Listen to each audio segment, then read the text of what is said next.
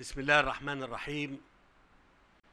اسمحوا لي في البداية أن أنا أتقدم لكم جميعا تهيئة باحتفالات أكتوبر الذكرى 51 لنصر أكتوبر سنة 73 والحقيقة لازم نتوقف هنا كلنا على مرور 51 سنة.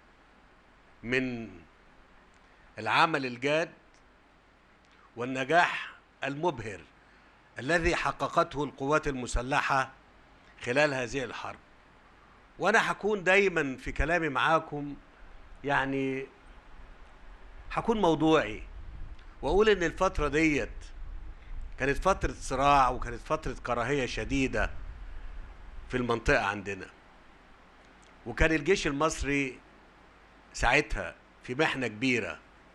وكان فرق الإمكانيات بين الجيش المصري في معركته اللي هي معركة 73 فرق كبير قوي. ولكن إرادة القتال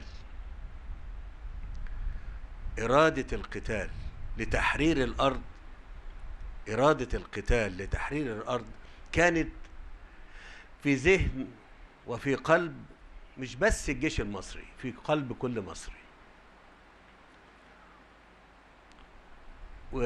وحدثت حرب أكتوبر.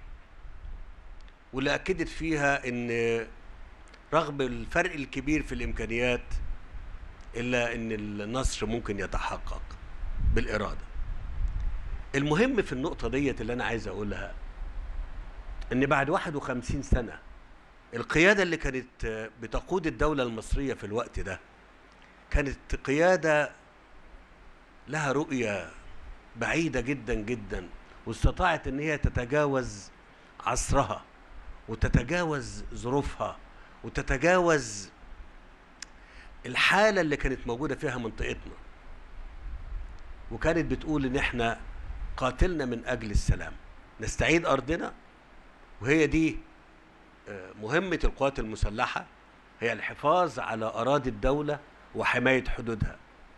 وده أمر أتصور إن هو من أفضل وأشرف المهام اللي بتقوم بها أي قوة أو قوات عسكرية لأي دولة إنها تحمي بلادها وتحمي حدودها.